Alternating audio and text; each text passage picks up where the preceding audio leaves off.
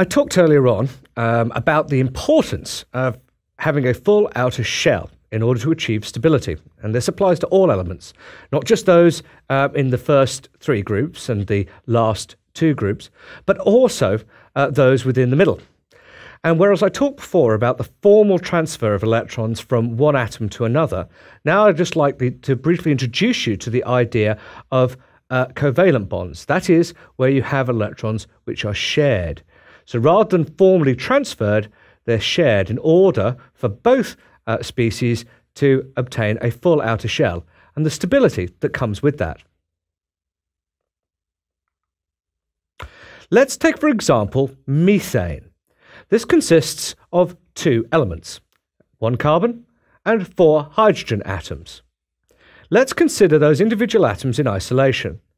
If we look at carbon, again we're using the abbreviated form, so the helium nucleus followed by 2s2, 2p2, we can see that it needs or requires four additional electrons to complete its valence shell. If, on the other hand, we look at hydrogen, which, as you should recall, has the electron configuration 1s1, it needs to gain one additional valence electron in order to complete its outer shell. So, if carbon shares all four of its valence electrons with four hydrogen atoms, such as this shown, this enables the completion of the outer shell for both atoms, or both sets of atoms. The hydrogen gains the electron it requires to create 1s2, and the carbon can share the four electrons from the hydrogen to create the 2s2, 2p6 outer shell. So, hopefully, you can appreciate in this scenario where the um, actual loss of individual electrons is not energetically preferable, sharing or covalent bond formation, which is what I'm showing you here, is the preferred way in which atoms can achieve the energetic stability associated with a full outer shell. The bonds between the carbon and the hydrogen are covalent bonds. And I just want to briefly draw your attention to uh, the shape of the molecule as I've shown here. If you recall, if we look back at uh, the uh, anionic and ionic systems, I talked about the idea that they form these crystal lattices or, or structures where you have multiple ions all able to interact uh, with each other electrostatically. However, in the case of covalent bonds, and this is very important for macroscopic properties, the bonds are directional. The carbon is bound to the hydrogen and nothing else. And so, therefore, you don't have the same macroscopic interactions, which means that the methane exists as a gas rather than as a crystal structure.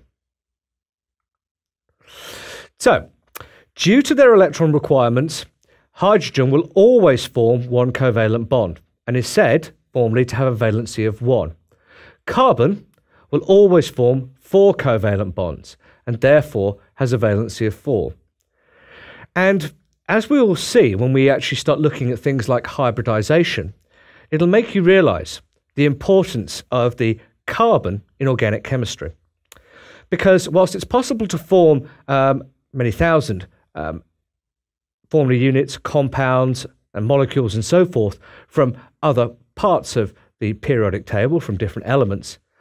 Carbon in itself is directly related to the millions and millions of different compounds which exist on this planet, and is therefore one of the most or the most important compound because of its diversity. So, question for you there. Ammonia is a molecule that contains a single nitrogen covalently bound to hydrogen atoms. So, what will the molecular formula for ammonia be? What, therefore, is the valency of nitrogen? And a follow up hydrazine, which is a related molecule, contains two nitrogen atoms and hydrogen atoms. The nitrogen atoms are joined by a covalent bond. what you should do as an exercise is draw the bonding and give the molecular formula for hydrazine.